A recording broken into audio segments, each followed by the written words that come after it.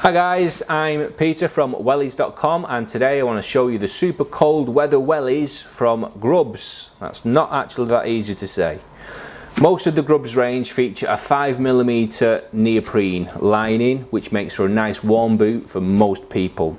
However, sometimes you might need that little bit of extra warmth. Say for example if it's extra cold out or if you're doing something which means that you are stationary for a period of time, so bird watching for example, or perhaps you suffer from cold feet, or maybe you're going on a holiday to somewhere which is colder. Whatever the reason is, Grubs have you covered with the snow line and the tree line. Both of these boots feature 8.5mm thick neoprene, so they are super warm.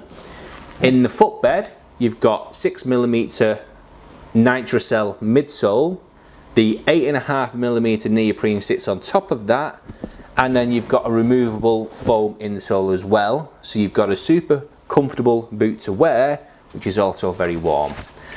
The outsoles are made by Vibram.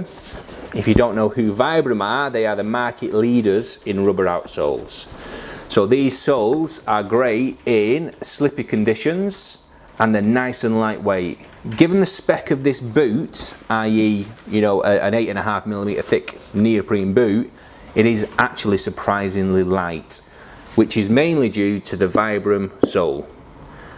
Difference between these two boots, apart from the obvious, you've got the snow line in the moss green and you've got the tree line in this camo finish. The main difference is the tree line features ripstop technology. So this protects the neoprene from snagging and pulling. If you're in rough undergrowth, I would definitely go for the tree line. If it's not a concern, then go for the snow line. Reason being, snow line is slightly cheaper.